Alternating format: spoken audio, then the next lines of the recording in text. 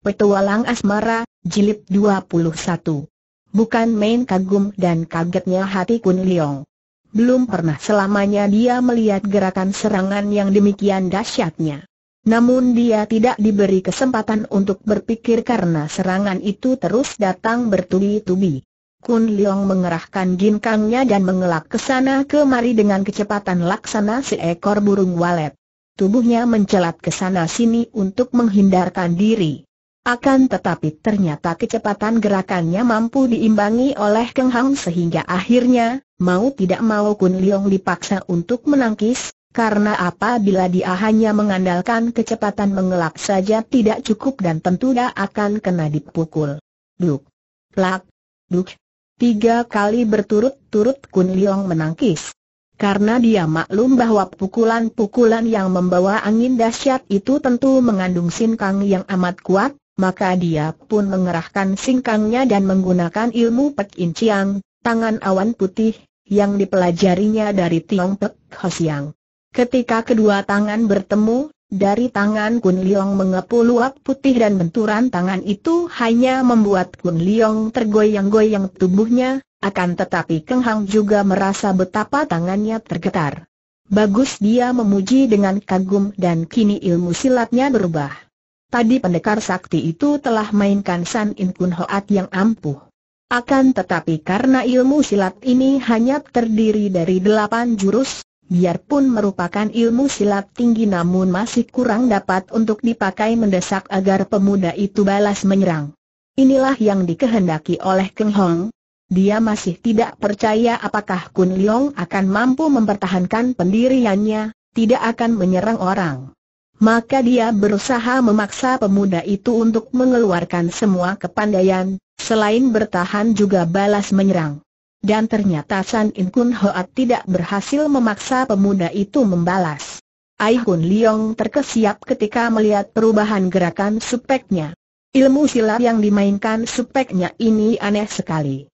Gerakannya sederhana, akan tetapi daya serangnya ampuh dan dahsyat sekali. Kadang-kadang gerakan supeknya lambat saja, akan tetapi angin pukulan yang datang lebih dahsyat daripada tadi. Itulah Tai Kek Sin Kun. Namun Keng Hang betul-betul dibuat kaget. Pemuda itu masih mampu mempertahankan diri dan dia bisa mengenal dasar-dasar Pat Hang Sin Kun dari Bun Hua Tosu, Kemudian Im Yang Sin Kun yang hanya dia kenal dasarnya saja karena kedua ilmu itu agaknya telah diubah dan diperbaiki oleh kedua orang kakek sakti itu sehingga menjadi ilmu yang amat hebat. Hawa yang kuat sekali berputaran di sekitar diri Kun Leong ketika pemuda itu memainkan ilmu-ilmu itu dengan kedua tangan yang selalu diisi dengan Sin Kang Pek In Chiang. Selama seratus jurus Keng Hang menyerang, dan uap putih yang tadi hanya mengepul dari kedua tangan Kun Leong, kini mengepul dari tubuh dan kepalanya yang gundul, mendatangkan kekuatan yang makin dahsyat. Hebatnya, sampai seratus jurus lebih, belum pernah satu kali pun Kun Leong membalas. Keng Hang maklum bahwa apabila dia menggunakan gerakan maut, tentu pemuda itu terpaksa akan membalas untuk mempertahankan diri, akan tetapi percobaan ini terlalu berbahaya bagi pemuda itu. Maka dia pun menggunakan akal terakhir, yaitu ilmu TKHI Ibeng. Sebagai seorang ahli yang memiliki kesaktian, tentu saja tidak ada bahayanya lagi bagi pendekar ini menggunakan TKHI Ibeng. Dahulu, sebelum dia menjadi ahli, ilmu ini sangat mengerikan. Siapa saja yang terkena betotan ilmu TKHI Ibeng, maka singkangnya akan tersedot dan Keng Hang sendiri tidak mampu menghentikannya sampai tenaga lawan tersedot habis dan tewas. Kini tentu saja dia dapat menggunakan sesuka hatinya dan mengaturnya sehingga sewaktu-waktu dapat menghentikan daya sedot ilmu itu. Awas serunya lagi sambil memukul dengan kecepatan yang tidak memungkinkan Kun Liong mengelak, kecuali menangkis. Plak! Hiaaat!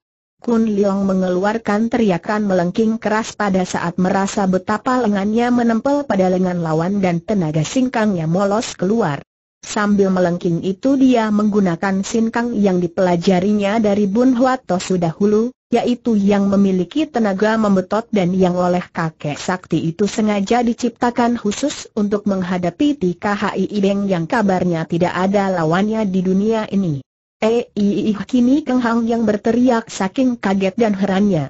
Pemuda itu mampu membebaskan lengannya dari sedotan Tika Hi Ibeng. Bukan main. Sukar untuk dapat dipercaya. Saking kaget dan herannya, dia menghentikan serangannya dan meloncat mundur. Kun Leong merasa sangat lega.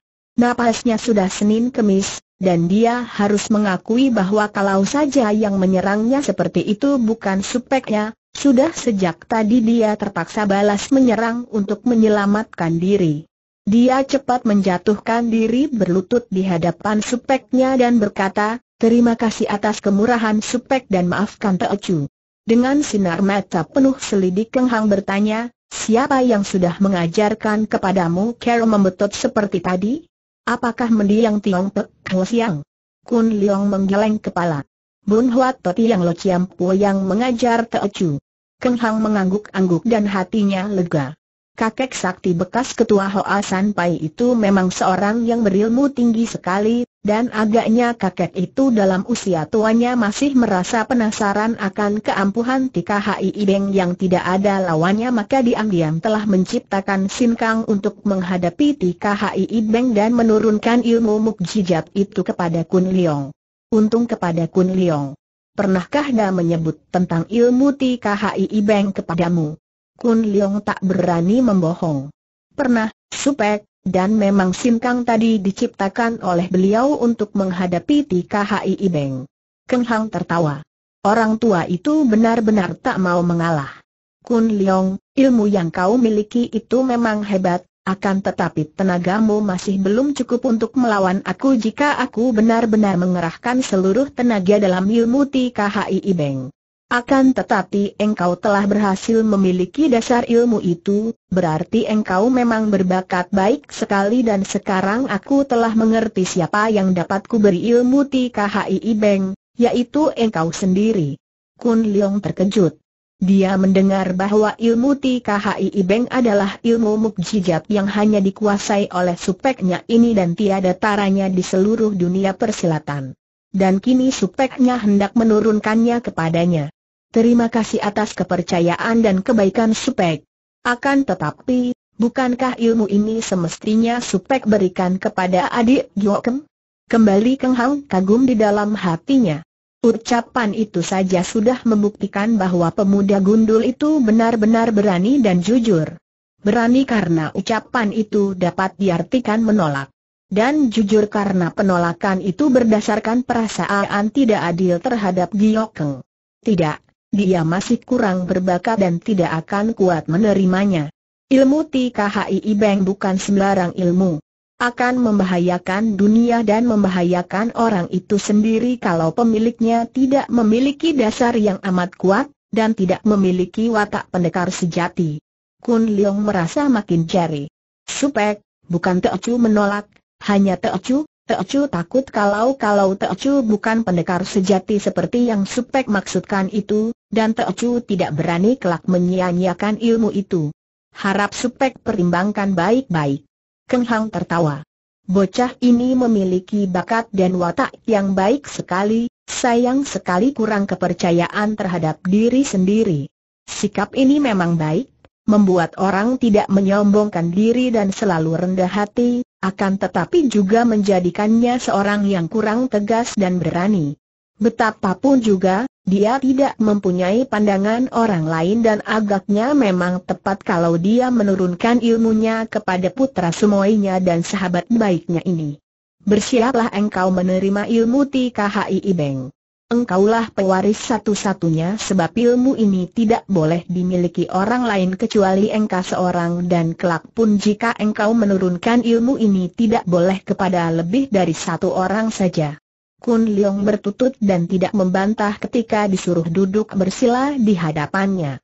Di dalam hutan yang sunyi itu, Keng Hang memberikan ilmu yang mukjizat itu kepada Kun Leong. Di samping care untuk mengendalikan hawa mukjizat di dalam tubuh ini, Keng Hang harus mengoperkan sebagian dari hawa mukjizat itu ke dalam tubuh Kun Leong, seperti yang dahulu dilakukan oleh gurunya kepadanya. Dia menyuruh pemuda itu membuka tubuhnya, yaitu siap menerima dan sedikit pun tidak boleh melawan, kemudian dia meletakkan kedua tangan di atas ubun-ubun kepala yang gundul dan mengerahkan sinkang yang bagaikan air bah membanjir memasuki tubuh Kun Leong. Pemuda gundul ini sampai roboh pingsan ketika pertama kali Keng Hang mengoperkan singkangnya. Kemudian sedikit demi sedikit dia dilatih mengemudikan hawa mukjizat yang bergerak-gerak di dalam tubuhnya sampai dia dapat menguasainya dan mengurung hawa ini ke dalam pusarnya dan dapat membangkitkannya sewaktu-waktu. Juga dia dilatih care bersemedi untuk mengumpulkan hawa murni yang menjadi penambah kekuatan tenaga mukjizat di KHI Beng di tubuhnya. Sampai dua pekan lamanya dia berlatih di dalam hutan itu, sedangkan Keng Hang juga bersemedi terus-menerus untuk mengisi kembali tenaga mukjizat yang sebagian telah dia operkan kepada Kun Leong. Dua pekan kemudian, dua orang itu melanjutkan perjalanannya. Kun Leong masih agak pening oleh pengaruh kekuatan mukjizat yang dimilikinya, mukanya agak kemerahan, adapun Keng Hang kelihatan agak pucat.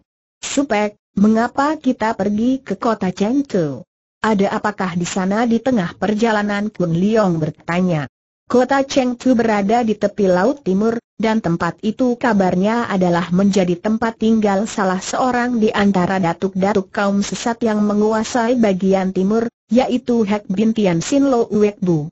Mengingat betapa Xiao Lim Si sudah diganggu dua kali, pertama oleh orang KWI Eng Pang dan kedua kalinya oleh putra Bantok Cho Aong, sangat boleh jadi kalau lima datu kaum sesat yang tersohor itu sekarang mengadakan persekutuan. Hek Bin Tianxin seorang di antara mereka, maka kiranya dia akan dapat memberi keterangan, karena tempatnya yang terdekat dari sini. Kedua kalinya, di Cheng Tu terdapat banyak tokoh persilatan baik golongan putih maupun hitam, dan menjadi cabang besar dari Lian Kau, maka tepatlah kalau kita menyelidiki orang tuamu di sana. Di antara mereka agaknya tentu ada yang mendengar tentang ayah bundamu. Mendengar ucapan ini, giranglah hati Kun Leong dan dia semakin kagum dan suka kepada supeknya. Tahulah dia bahwa supeknya adalah seorang yang budiman, gagah perkasa dan mulia.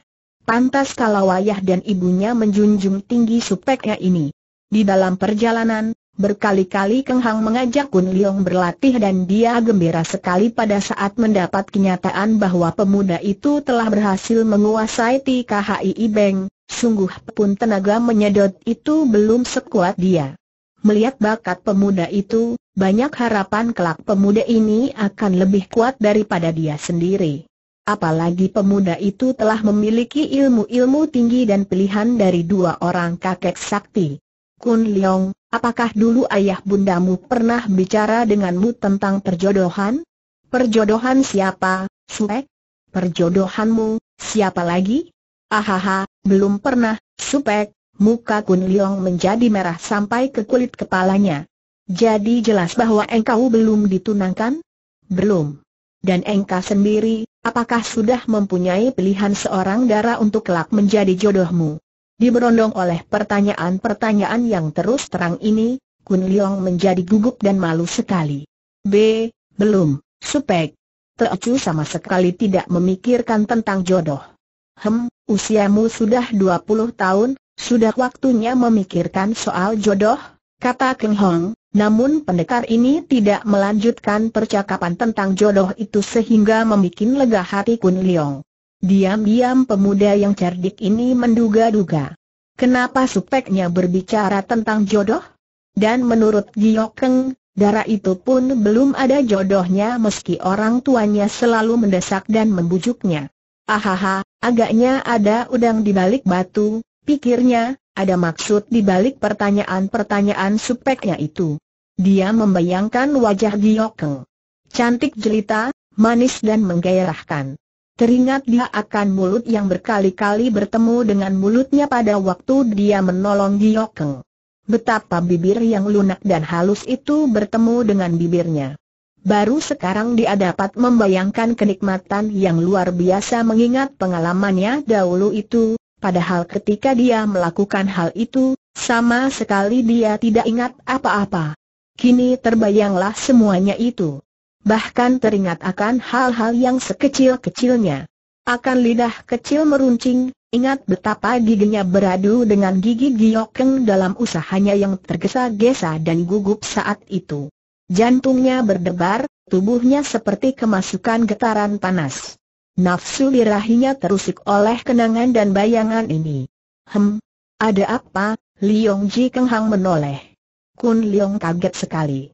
Tak disadarinya, mulutnya mengeluarkan suara menggeram tadi. Oh haha, ahaha, tidak apa-apa, supek. Sungguh tolol kau, dia memaki diri sendiri. Pikiranmu busuk, kotor. Akan tetapi kotorkah mengenangkan seorang darah jelita bagi seorang pemuda? Mengenangkan seorang darah memang tidak kotor, bantahnya sendiri, akan tetapi kalau sudah berlarut-larut memikirkan hal yang bukan-bukan, bisa berbahaya. Beberapa hari kemudian, tibalah mereka di jalan besar yang menuju ke kota Chengtu di tepi laut timur. Dari jauh sudah tampak perahu-perahu di tepi pantai, bukan hanya perahu nelayan, akan tetapi juga perahu-perahu besar yang nampak aneh dan asing. Kun Leong terpesona melihat laut. Belum pernah dia pergi ke pantai laut. Melihat dari tempat yang agak tinggi ke arah lautan bebas yang tiada bertepi itu, melihat gelombang ombak yang bergerak-gerak tiada hentinya, dia menahan napas saking kagumnya. Akan tetapi setelah mereka tiba di pintu gerbang, Kun Leong merasa penasaran dan tidak senang. Pintu gerbang itu dijaga oleh prajurit-prajurit yang bersenjata tombak. Baru kini dia melihat keadaan seperti ini. Dan setiap orang yang akan memasuki kota itu diperiksa, ditanyai dan dicatatkan namanya di atas sehelai kertas. Ketika Keng Hang dan Kun Leong tiba di pintu gebang, di sana sedang ada rombongan penari silat yang diperiksa, dan terjadi perselisihan kecil. Kami sudah merantau dan mengadakan pertunjukan silat hampir di seluruh daerah, akan tetapi baru sekarang ini kami diperiksa dan dicurigai pemimpin rombongan itu, seorang kakek berusia 50 tahun memprotes. Tak perlu banyak cerewet. Di sini berkeliaran banyak macam-macam pemberontak dan orang jahat. Bila engkau tidak mau diperiksa, apakah kalian ini termasuk orang jahat atau kaum pemberontak bentak kepala penjaga? Sungguh pun sambil mengomel, rombongan penari silat yang terdiri dari tujuh orang itu diperiksa, dicatat nama-nama mereka, bahkan alat-alat permainan mereka diperiksa dan digeledah. Yang membuat Kun Leong penasaran adalah pada saat dia melihat dua orang asing yang aneh pakaiannya, aneh pula keadaannya karena matanya biru, kulitnya pucat seperti mayat, rambutnya dipotong sampai di pundak dan ada yang rambutnya berwarna kuning, memasuki pintu gerbang tanpa diperiksa sama sekali. Keng Hang juga melihat hal ini, akan tetapi dia diam saja. Hanya diam-diam dia lantas memperhatikan dua orang itu dan mendapat kenyataan bahwa dua orang itu sebangsa dengan orang asing lihai yang ditemuinya di Lengkok, di rumah Matai Jin, hanya mereka ini lebih muda. Benarlah dongeng orang bahwa kini banyak terdapat bangsa asing yang aneh itu, terutama di sepanjang pantai selatan dan timur. Tentu mereka datang dengan perahu-perahu besar itu. Karena mereka memasuki kota berbareng dengan rombongan penari silat, agaknya para penjaga mengira bahwa mereka berdua juga anggota rombongan itu, maka setelah pihak penjaga dan pemimpin rombongan selesai berdebat, Keng Hang dan Kun Leong diizinkan masuk tanpa banyak pemeriksaan lagi. Juga karena sikap dan pakaian Keng Hang tidak mencolok, seperti orang biasa saja, sedangkan Kun Liong yang menarik perhatian karena kepala gundulnya itu mudah saja lolos, oleh karena dia dianggap seorang badut di antara rombongan penari silat itu. Ternyata di dalam kota pelabuhan Chengtu itu terdapat banyak orang asing bermata biru. Di sana sini terdapat rombongan mereka tertawa-tawa dan berbicara dalam bahasa yang bagi pendengaran Kun Liong aneh luar biasa. Agaknya seperti itulah bicaranya iblis-iblis dan para setan. Mendesis-desis serta mengeluarkan suara tajam-tajam menusuk telinga, kadang-kadang nadanya naik turun seperti orang bernyanyi. dia merasa geli dan ingin tertawa mendengar mereka itu bercakap-cakap riuh rendah sambil berjalan di tengah jalan, bersikap seakan jalan itu adalah jalan mereka sendiri dan semua orang yang berjalan di kanan kiri jalan itu mereka anggap seperti patung saja. Hem, mereka ini orang-orang yang tinggi hati, yang memandang rendah pada orang lain dan merasa diri pandai sendiri, demikian Kun Leong mengambil kesimpulan setelah melihat sikap dan gerak-gerik mereka. Akan tetapi harus akui bahwa orang-orang itu rata-rata mempunyai bentuk tubuh yang baik, tinggi besar dan kelihatannya kuat. Usia mereka rata-rata antara 30 tahun, yang aneh adalah potongan rambut mereka.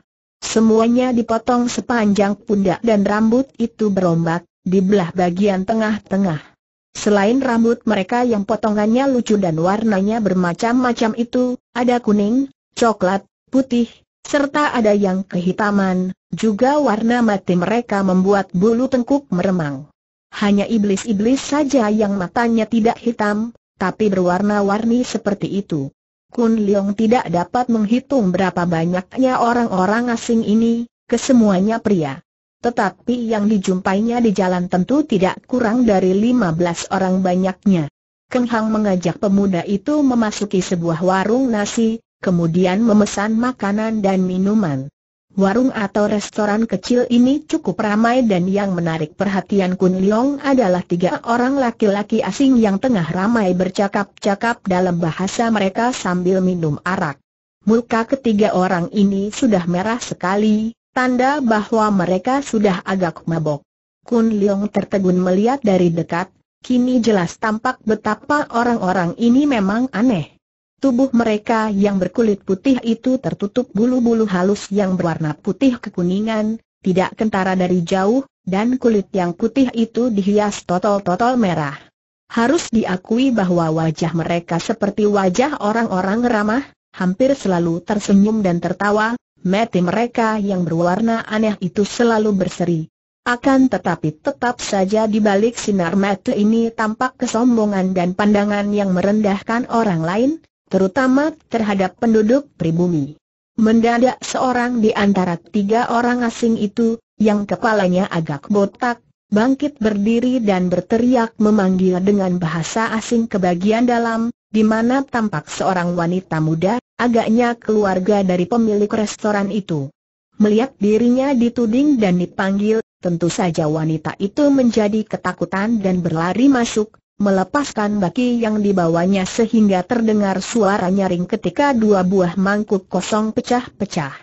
Pemilik restoran segera berlari datang menghampiri lelaki asing yang sekarang berteriak-teriak dan memukuli meja, kelihatannya marah itu. Pemilik restoran menjura dan berkata, harap Tuan tidak marah, apakah yang Tuan kehendaki dan pesan.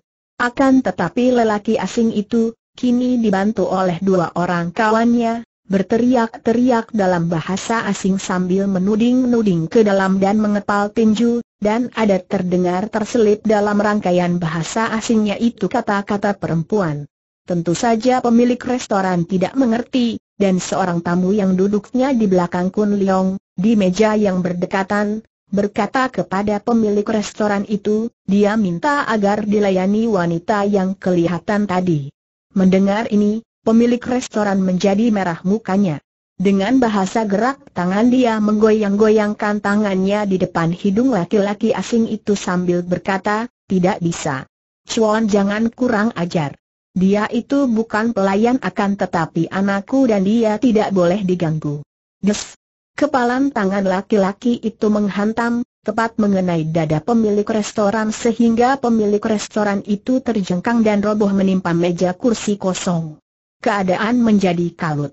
Kun Leong bangkit berdiri, akan tetapi tangannya dipegang Keng Hang yang segera memberi isyarat agar pemuda itu duduk kembali. Kun Leong merasa penasaran sekali, akan tetapi pada saat itu dia melihat tiga orang asing itu sudah bangkit dari tempat duduknya masing-masing, berdiri dengan muka ketakutan sambil ditundukkan menghadap seorang asing lain yang telah berada di pintu restoran. Orang yang baru datang ini juga seorang asing, akan tetapi Kun Leong memandangnya kagum. Orang itu masih muda, belum ada 30 tahun. Tubuhnya tegap jangkung, pinggangnya kecil tidak seperti yang lain yang rata-rata berperut besar, rambutnya kuning emas terpelihara bersih dan disisir rapi, di belah tengah dan panjangnya sampai ke bawah telinga sedangkan yang belakang agak panjang diikat dengan pita. Wajah pemuda asing ini tampan dan gagah, pandang matanya yang biru itu tenang dan tidak memandang rendah orang lain meskipun di balik itu tersembunyi keangkuhan yang membayangkan tinggi hati. Pakaiannya aneh dan indah, jubahnya yang lebar berwarna kuning, kemejanya putih dan celananya abu-abu. Sepatunya yang aneh bentuknya dan tinggi sampai ke lutut itu terbuat dari kulit yang mengkilap, pada pinggangnya tergantung sarung sebatang pedang yang kecil panjang. Dengan suara lantang orang muda asing itu berkata-kata kepada ketiga orang tadi yang menjawab hanya dengan kata-kata pendek dan mengangguk-angguk. Setelah pemuda itu mengangkat telunjuk kanannya ke atas dengan gaya memperingatkan, dia lalu memutar tubuh dan pergi dari situ. Tiga orang laki-laki tadi lalu duduk kembali, dan orang yang memukul pemilik restoran menghampiri orang yang dipukulnya, menjabat tangannya sambil digoncang-goncangkan dengan gaya minta maaf. Tuaku, dia minta maaf atas kekasarannya tadi, Kata pula orang di belakang Kun Liong yang agaknya mengerti bahasa mereka. Si pemilik restoran tersenyum kemudian mengangguk-angguk. Dia menganggap bahwa peristiwa itu timbul karena salah pengertian akibat perbedaan bahasa mereka. Keng Hang berkata kepada laki-laki muda yang duduk di belakang Kun Liong, agaknya Hiante mengerti bahasa mereka. Orang itu mengangguk dan tersenyum. Mereka itu bangsa Portugis. Karena sudah lama kota ini kedatangan orang-orang bangsa itu, dan pernah ada yang bersahabat dengan saya, maka sedikit-sedikit saya mempelajari dan mengerti bahasa mereka. Mereka adalah pelaut-pelaut yang biasanya bersikap kasar, terlebih lagi kalau melihat wanita. Maklumlah, selama berbulan-bulan, mungkin bertahun-tahun mereka berada di atas kapal mengarung samudera, haus akan wanita. Mengertikah Yante apa yang diucapkan oleh orang asing muda tadi, dan siapakah dia? Dia adalah Tuan Muda Yuan, putra pemilik kapal kuda terbang. Sering kali dia datang bersama kapalnya, dan dia ditakuti oleh semua orang asing itu. Agaknya dia mempunyai pengaruh besar di antara mereka. Dia tadi memarahi mereka dan memperingatkan bahwa untuk kebutuhan mereka akan perempuan telah disediakan tempat khusus maka mereka dilarang keras mengganggu wanita baik-baik. Keng Hang mengangguk-angguk, namun hatinya merasa tidak enak sekali. Mau apakah orang-orang asing ini berkeliaran di sini? Karena penasaran dia bertanya lagi, tahukah saudara, mereka itu berada di Cheng Tum Awapa?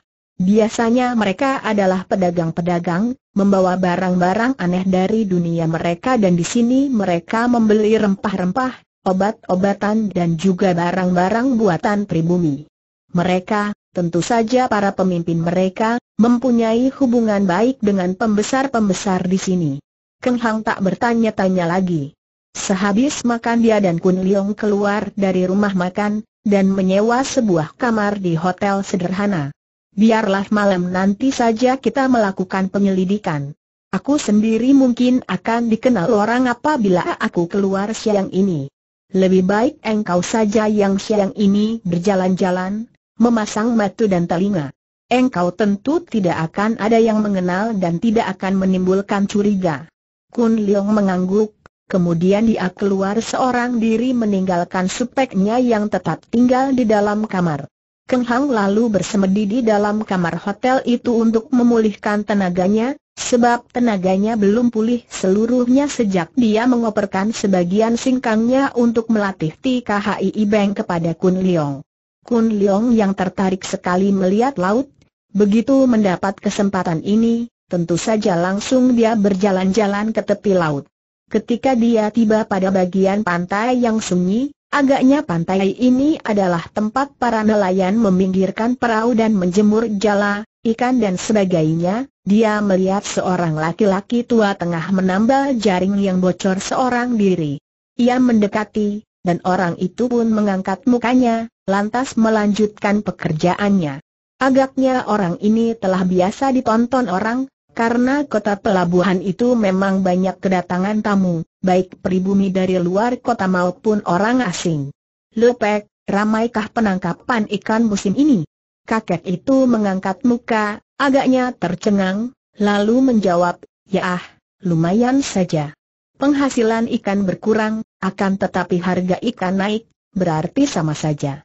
Semua ini gara-gara kapal-kapal asing yang datang itu kakek itu kedua tangannya memegang jala, karena itu dia menunjuk ke arah kapal-kapal asing dengan hidungnya pada saat mukanya digerakkan ke arah laut. Mengapa gara-gara mereka? Kapal-kapal besar itu mengacaukan lautan dan menakutkan ikan-ikan. Agaknya dewa penjaga lautan juga ketakutan melihat rambut kuning, mata biru, dan kulit putih itu hasil tangkapan ikan akhir-akhir ini menurun. Akan tetapi, orang-orang asing itu doyan sekali makan ikan dan mereka berani membeli mahal sehingga harga ikan naik keras. Dengan penuh gairah kakek itu lalu bercerita tentang kehidupan nelayan di kota itu yang didengar penuh perhatian oleh Kun Leong yang memang sedang memancing percakapan. Kemudian pemuda itu bertanya sambil lalu, Eh, Lopek, Engkau yang sudah puluhan tahun tinggal di Chengtu, tentu telah mengenal semua orang sini, bukan? Tidak semua. Hanya yang lama tinggal di sini saja. Sekarang banyak pendatang baru, terutama orang-orang dari daerah selatan yang datang bersama kapal-kapal asing itu. Siapa mengenal mereka kakek itu mengomel, agaknya di dalam hatinya dia tak senang dengan kedatangan kapal-kapal itu.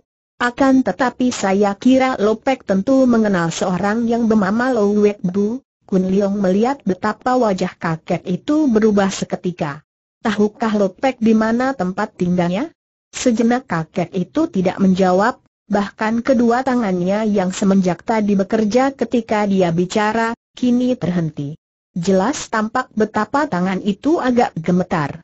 Kau, kau, sahabatnya, orang muda? Kun Leong menggelengkan kepalanya. Bukan, aku hanya ingin tahu di mana tinggalnya orang yang tersohor itu. Rumah dia itu, siapa yang tidak tahu? Di tepi kota sebelah utara, rumah gedung besar yang di atas atapnya ada ukiran naga, seperti rumah kuil. Sudahlah, aku masih banyak pekerjaan, maafkan, orang muda. Bergegas kakek itu meninggalkan Kun Leong lalu menghampiri perahunya dan memeriksa perahu itu. Kun Leong maklum bahwa kakek itu menjadi ketakutan untuk bercakap-cakap dengan orang yang mengenal atau mencari datuk kaum sesat itu, akan tetapi apa yang dikehendakinya, alamat datuk itu, telah terpegang. Maka dia pun pergi dari situ, menuju ke utara. Belum lama dia berjalan, Sebelum sampai di tepi kota sebelah utara, dia melihat ribut-ribut di pinggir sebuah pasar dekat pantai. Cepat-cepat dia menghampiri dan melihat betapa rombongan penari silat yang pagi tadi bersama-sama dia memasuki kota dan agaknya membuka pertunjukan di tempat itu, sedang berhantam melawan tiga orang asing yang tadi dia lihat dalam restoran. Agaknya tiga orang asing itu sudah mabok, Muka mereka merah sekali dan mereka berhantam melawan tiga orang dari rombongan penari silat. Kun Leong menonton penuh perhatian dan melihat betapa tiga orang asing itu gerakannya tidaklah selincah tiga orang lawannya, akan tetapi mereka itu rata-rata mempunyai tubuh yang kuat dan kebal.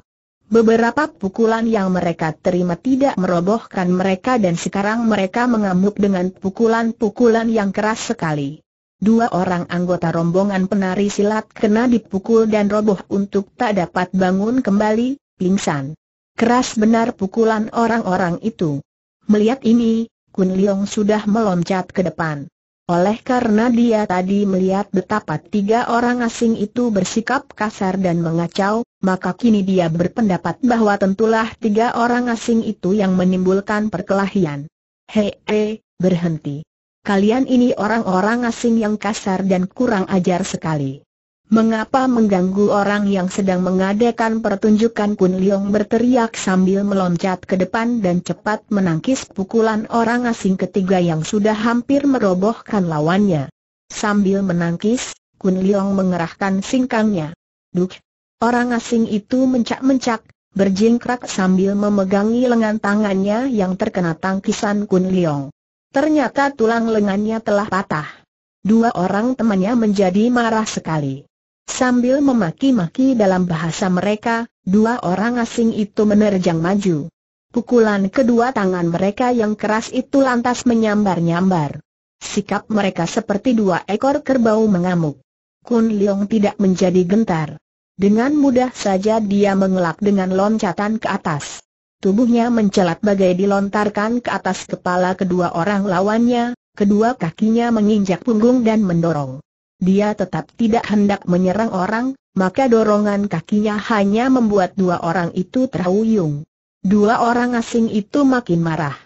Mereka membalik dan menyeruduk kembali dengan ganas. Kun Leong mengelak ke samping, kakinya dilonjorkan ketika dia berjongkok hingga kedua orang itu terjungkal, roboh menelungkup mencium tanah. Terdengar sorak-sorai orang, orang yang menonton. Baru sekali ini mereka melihat ada orang asing biadab itu dihajar. Biasanya, tidak ada yang berani melawan orang-orang asing ini karena pembesar setempat sudah mengeluarkan pengumuman supaya jangan mengganggu mereka yang disebut tamu-tamu agung itu. Memang benar bahwa orang-orang asing itu royal mengeluarkan uang dalam membeli sesuatu, akan tetapi sikap mereka itu angkuh dan memandang rendah kepada penduduk pribumi. Begitu angkuhnya sehingga kadang-kadang mereka itu melakukan hal-hal yang sangat menghina, misalnya, orang-orang asing itu berani secara main-main menolak pipi atau menjamah dada seorang darah yang bertemu di tengah jalan. Kun Leong mengambil keputusan bahwa kalau dua orang itu masih nekat, begitu memukul lagi dia akan menangkis dengan pengerahan tenaga. Akan tetapi begitu kedua orang itu bangkit, tiba-tiba saja ada bayangan berkelebat dan betapa kaget hati Kun Leong ketika di depan kedua orang itu tiba-tiba telah berdiri pemuda asing yang tadi. Dia terheran-heran menyaksikan gerakan pemuda itu yang jelas menunjukkan gerakan seorang ahli bintang. Pemuda itu kembali bicara nyaring sekali, agaknya memarahi ketiga orang asing itu dan telunjuknya menuding keluar. Dengan kepala tunduk dan muka kemerahan, ketiga orang asing itu langsung berjalan pergi, yang patah lengannya tadi masih mengerang kesakitan. Setelah ketiga orang itu pergi, pemuda itu membalikan tubuhnya, membungkuk kepada Kun Leong dan berkata dalam bahasa pribumi yang cukup lancar biarpun nada suaranya terdengar lucu dan asing. Harap saudara maafkan kalau tiga orang kasar tadi mengganggu pertunjukan saudara-saudara di sini. Maklumlah, mereka itu belum pernah melihat orang-orang mengadakan pertunjukan di tempat terbuka. Kun Leong juga membungkuk. Diam, Diam dia tidak mengira sama sekali bahwa pemuda asing ini pandai bicara dalam bahasa pribumi dan sikapnya sama sekali tidak sombong, bahkan ramah dan merendah. Saya bukan dari rombongan penari silat, harap Chuan minta maaf kepada mereka itu. Mendengar ucapan Kun Leong ini, pemuda asing itu mengangkat dada dan memandang tajam, mengerutkan alisnya yang berwarna agak kuning, tidak sekuning rambutnya. Chuan bukan anggota mereka dia mengulang. Kalau begitu, kenapa Chuan menyerang orang kami? Saya tidak menyerang, merekalah yang menyerang saya. Saya melihat mereka memukul para penari silat, maka saya berusaha mencegahnya dan mereka menyerang saya. Sikap pemuda asing itu berubah, agaknya dia penasaran, dan juga tertarik sekali. Hem, Kau bilang tidak menyerang akan tetapi seorang di antara mereka sampai patah tulang lengannya. Agaknya Chuan seorang pendekar, ya? Sama sekali bukan jawab Kun Leong. Saya bukan pendekar, akan tetapi ketiga orang sahabat Chuan tadi adalah orang-orang jahat yang tidak semestinya dibiarkan berkeliaran seperti binatang buas yang suka mengganggu orang. Akan tetapi pemuda asing itu tidak memperhatikan kata-kata ini, hanya memandang penuh perhatian, kemudian berkata, saya ingin sekali melihat kepandaian Tuan. Marilah kita menguji kepandaian masing-masing secara bersahabat. Apa? Chuan menantang saya untuk bertanding? Orang saling pukul, mana bisa secara bersahabat? Saya tidak menantang untuk bermusuhan, akan tetapi untuk, eh haha, apa namanya itu, untuk pibu. Ya, untuk Pibu. Marilah Tuan sambut serangan saya. Dan pemuda asing itu dengan penuh semangat lalu menerjang maju, menyerang dengan pukulan tangan terkepal, akan tetapi gerakannya lincah sekali dan pukulannya membawa angin pukulan yang mengandung tenaga dalam.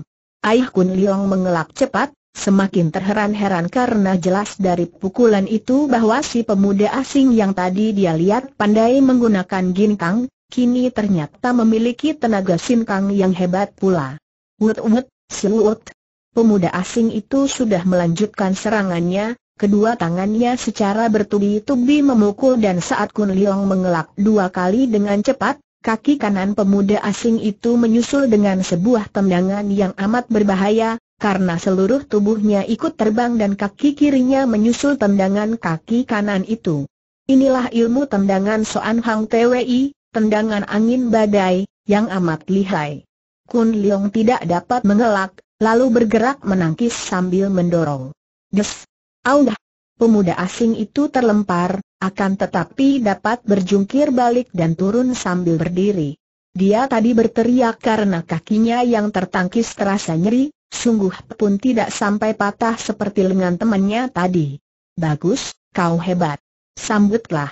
Dia maju menyerang lagi, kini betul-betul mengerahkan seluruh tenaga dan mengeluarkan kepandaian silatnya yang aneh namun cukup hebat. Gerakannya seperti seekor burung Garuda menyambar-nyambar, kedua tangan dikembangkan, kadang-kadang dikepal tetapi kadang-kadang dibuka seperti cengkeraman. Kun Leong makin kagum dan dia pun cepat mengimbangi kelincahan lawan, mengelak ke sana sini dan berusaha menghentikan serangan-serangan itu dengan menjatuhkan lawan tanpa melukai sampai parah. Ketika untuk kesekian kalinya pemuda asing itu menubruk dengan dua tangan terpentang, Kun Leong menyambut kedua tangan itu sambil mengerahkan sinkang untuk menempel, akan tetapi dia tidak mau menggunakan TKHI Beng, hanya sekedar membuat kedua tangan lawan melekat pada tangannya. Ah pemuda asing itu terkejut, berusaha menarik kembali kedua tangannya tetapi sia-sia belaka, kedua telapak tangannya seperti melekat pada tangan pemuda itu. Kembali dia membetot dan kesempatan itu digunakan oleh Kun Leong untuk mengerahkan tenaga mendorong dan tubuh pemuda asing itu terlempar ke belakang sampai 4 meter dan jatuh terbanting. Akan tetapi dia dapat cepat meloncat bangun kembali, lantas tersenyum kagum sambil mengebut-ngebutkan jubahnya yang kotor. Dari tempat dia terjatuh, dia membungkuk ke arah Kun Leong dan berkata, Saudara hebat sekali. Saya Yuan Degama mengaku kalah. Siapakah nama saudara? Menyaksikan sikap pemuda asing yang dengan jujur dan wajah berseri sudah mengakui kekalahannya, hati Kun Leong menjadi tertarik dan senang. Dia pun membungkuk sambil berkata, Chuan juga hebat. Nama saya Yap Kun Leong. Terima kasih, sampai jumpa lagi pemuda asing itu membalikan tubuhnya dan berjalan dengan cepatnya menuju ke utara. Kun Leong tidak mau memberi kesempatan kepada orang-orang yang mendekatinya untuk memuji dan bertanya-tanya, dia pun cepat melangkah dan menuju utara, bukan sekali-kali membayangi si pemuda asing, tetapi karena dia hendak melanjutkan penyelidikannya di rumah Hak Bin Tiansin seperti yang telah ditunjukkan oleh nelayan tua tadi. Agar tidak disangka membayangi pemuda bekas lawannya, dia sengaja memperlambat langkahnya sampai pemuda di depan itu lenyap di sebuah tikungan. Kun Leong hanya melihat-lihat dari luar. Rumah Hek Bin Tiansin memang sangat besar dan megah. Agak aneh juga sebab di bagian atapnya terdapat ukiran seekor naga seperti yang biasanya terdapat pada bangunan kuil. Agaknya datuk kaum sesat itu hendak menyesuaikan rumahnya dengan julukannya. Dia berjuluk Hek Bin Tiansin, malaikat muka hitam, maka sudah sepatutnya kalau rumah seorang malaikat mempunyai penjaga seekor naga. Setelah mempelajari keadaan rumah gedung itu dari luar, Kun Leong langsung kembali ke rumah penginapan. Hari telah mulai senja ketika dia tiba kembali di kamar penginapan di mana Keng Hang telah menantinya. Kun Leong segera menceritakan tentang rumah datu kaum sesat itu dan sama sekali tidak mau menceritakan tentang peristiwa yang terjadi dengan pemuda asing, Karena hal itu dianggapnya tidak ada sangkut pautnya dengan supeknya maupun dengan maksud kedatangan mereka berdua di kota itu. Setelah kau pergi tadi, secara diam-diam aku pun pergi mengunjungi beberapa orang tokoh Kengou yang berada di sini. Mereka itu sama sekali tidak tahu dan tidak pernah mendengar di mana adanya orang tuamu. Jalan satu-satunya untuk mencari keterangan agaknya harus dari golongan hitam. Dan menurut cerita mereka, ada hal-hal aneh di kota ini. Sikap para orang asing itu mencurigakan sekali karena menurut keterangan yang aku peroleh, selain mereka itu berhubungan dengan para pembesar, juga kelihatan ada orang asing yang mengunjungi Hek Bin Tianxin. Hem, katanya mereka itu hanya pedagang biasa. Jangan-jangan mereka terlibat pula dalam urusan kejahatan. Kun Leong berkata dan teringatlah dia pada pemuda asing bernama Yuan Degama tadi. Melihat sikap pemuda itu, agaknya sama sekali dia bukan dari golongan penjahat, namun ilmu kepandaiannya benar-benar tak boleh dipandang ringan. Malam hari itu, Keng Hang dan Kun Leong keluar dari rumah penginapan. Hari telah jauh malam dan kota Cheng Tu sudah mulai sepi, rumah-rumah sudah menutupkan daun pintu. Jangan sembarangan turun tangan.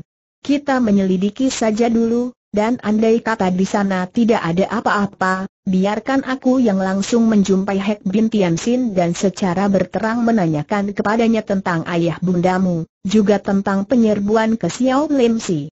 Mengingat akan kedudukan dirinya sebagai datuk dan aku sebagai ketua Chin Ling Pai, kiranya dia akan suka bicara berterus terang. Kun Leong mengangguk karena memang dia pun tidak ingin melakukan sesuatu, kecuali kalau terjadi apa-apa yang memaksanya melakukan sesuatu. Dengan mudah saja dua orang ini meloncati pagar uji besi yang melingkari rumah besar itu.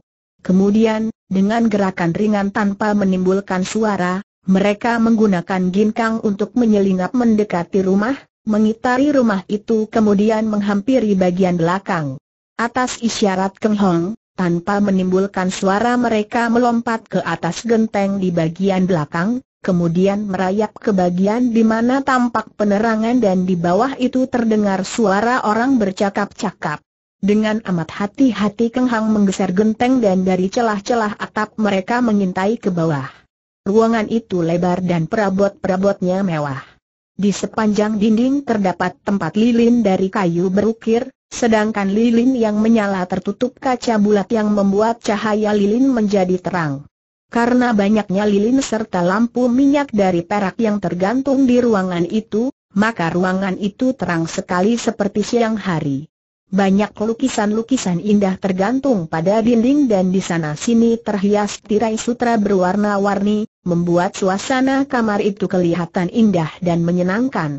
Ada dua jendela di kamar besar itu yang berada di kanan kiri, keduanya menembus ke udara terbuka sebuah taman sehingga hawa di kamar itu cukup sejuk. Meja kursi yang terdapat di ruangan itu semua mengkilap dan buatannya halus, sedangkan kedua jendela itu pun langkannya terhias kayu ukir-ukiran yang dicat indah sekali. Ada tujuh orang yang berada di dalam ruangan itu, duduk seenaknya di atas kursi-kursi dan bangku-bangku yang letaknya agak berjauhan. Mereka duduk berhadapan sehingga merupakan setengah lingkaran, masing-masing menghadapi meja kecil di mana terdapat tempat bunga yang berisi bunga-bunga segar dan cawan-cawan terisi arak. Pada saat Kun Leong memperhatikan orang-orang itu, dia terkejut melihat bahwa di antara mereka terdapat dua orang asing bermata biru berkulit putih.